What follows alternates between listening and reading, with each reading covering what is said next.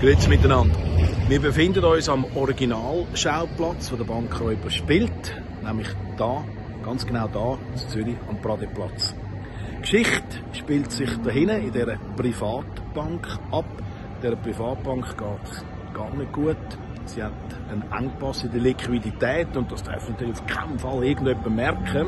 Ja, weil sonst ziehen die Leute die letzten Gelder ab und dann ist die Bank Konkurs.